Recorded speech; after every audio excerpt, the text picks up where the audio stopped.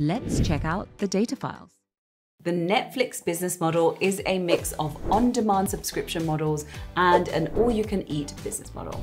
It's without a doubt at some point you've been chatting to a friend and they've mentioned a show to you that you shouldn't miss, to which you promptly ask, is that on Netflix? It may surprise you to know that Netflix is more than 20 years old, and when it was founded back in 1998, it was just a DVD rental service by mail.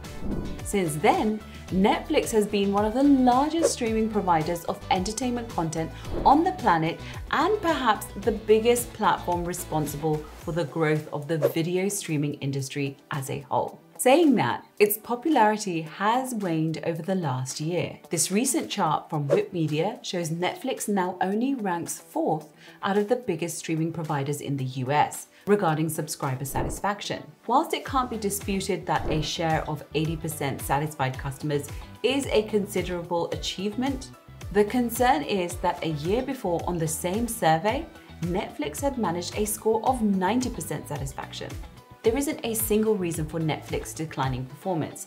There's more of a accumulation of reasons. For one, disappointment with the service's original programming has mounted over the last months. The company also generated less than favorable headlines with its decision to curb account sharing across multiple households. No, God! No, God, please, no, no!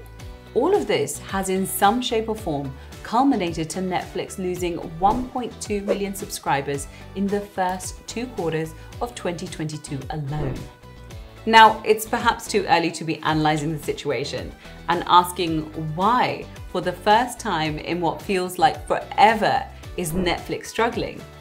But the thing is, being in business myself, seeing a chink in the armour of a business that had the biggest head start in its industry is nerve wracking.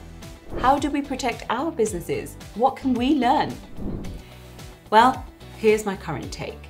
Being one of the first to market, Netflix got to have a pick of the bunch when it came to choosing which shows to license and air on its platform.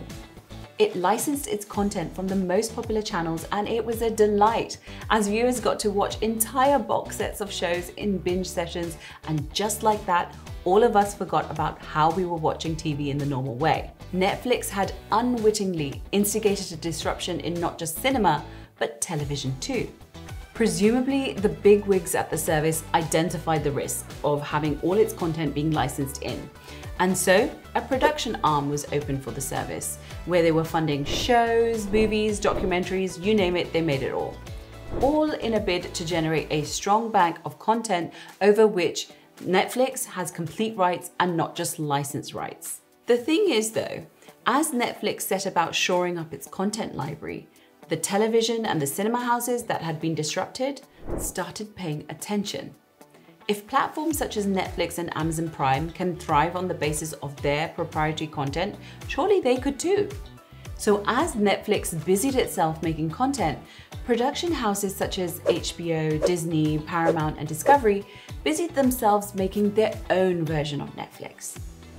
Cut to today, despite many of their platforms being a bit clunkier and less intuitive and way less slick than Netflix platform, streamers such as HBO and Disney have taken a sizable portion of Netflix users' attention with no signs of stopping.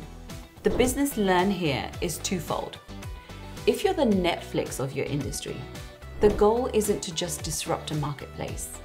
If and when you manage it, you need to secure your competitive advantage by creating a large enough gap that is harder for disrupted competitors to cross.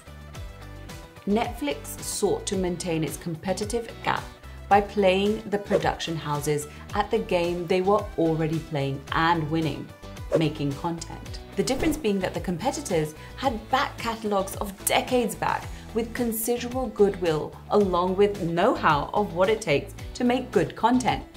In the bid to get content out fast, 60 to 70%, this is based on no data, this is my opinion, but 60 to 70% of Netflix content is formulaic, predictable content that's struggling to stand the test of time. If I was sitting in the Netflix boardrooms, rather than just making content, I would have advocated to create a larger gap between ourselves and the competitors by focusing on what made Netflix stand out. its platform technology.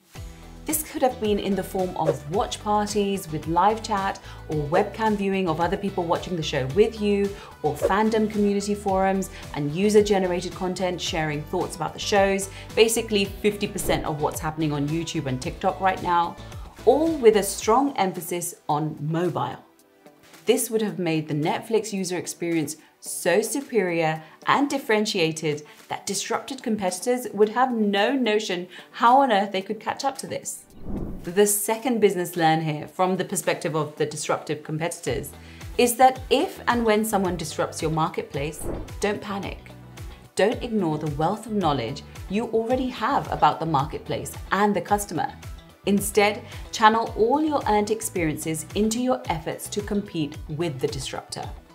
HBO and Disney's whole competitive edge is the well established, goodwill heavy back catalogue and their know how of how to continue making compelling content. So far, this seems to be working in slowing down the disruptor. Now, if I was them and I wanted to go for the kill, I would be investing more into the platforms and providing the user what Netflix isn't on its platform connection. I would shore up my fandom goodwill by giving them a space to share and interact with each other and the content talent. I feel like I've just given away a secret worth millions here. I'll see you in the next one.